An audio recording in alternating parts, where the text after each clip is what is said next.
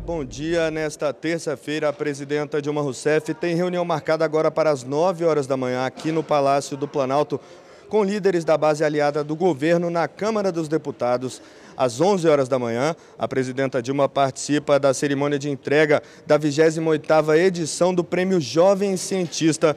A iniciativa do Conselho Nacional de Desenvolvimento Científico e Tecnológico, o CNPq, é considerada uma das principais premiações no campo das ciências no país e este ano teve como tema segurança alimentar e nutricional. Às duas e meia da tarde, a presidenta Dilma recebe é, líderes da base aliada do governo no Senado Federal, aqui no Palácio do Planalto.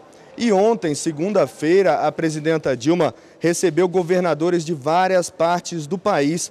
O, ao todo, 19 governadores participaram do jantar oferecido pela presidenta Dilma Rousseff, que aconteceu ontem à noite no Palácio da Alvorada, residência oficial da presidência da República. João Pedro Neto, direto do Planalto.